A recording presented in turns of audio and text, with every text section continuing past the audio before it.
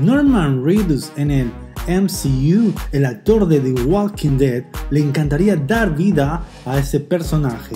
Al actor se le han escapado unos peligrosos likes que demuestran que está como una moto por entrar en el mundo Marvel.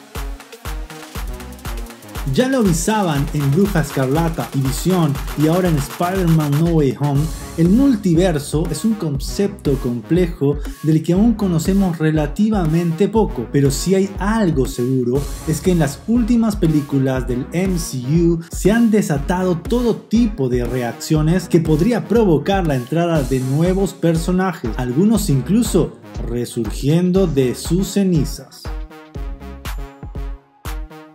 Tal es el caso de Ghost Rider, el mítico motorista fantasma al que en su momento dio vida a Nicolas Cage en dos películas que pasaron sin pena ni gloria. Ahora la nueva fase del MCU le podría dar una segunda vida a Johnny Blaze y su llameante motocicleta. Solo falta el actor indicado, aunque parece haber uno muy interesado en hacerse con el papel.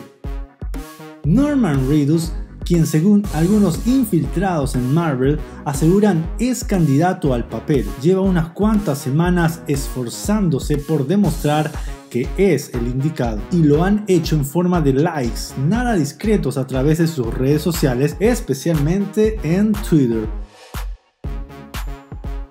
en todos los idiomas posibles y con distintas razones como su habilidad a los manillares fans de todo el mundo piden que Ridu sea el nuevo Ghost Rider y él responde así. La conversación sobre Ghost Rider ha surgido durante años y sí, diles que me pongan en ella. Quiero interpretar a Ghost Rider, comentaba el intérprete de The Walking Dead en una entrevista.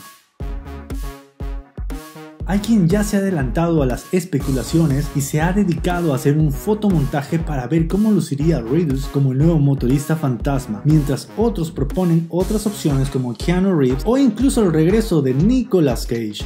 Aunque sus dos películas fueron independientes del MCU, con la llegada del multiverso y nuevos personajes, quién sabe si podríamos estar ante el regreso de Ghost Rider.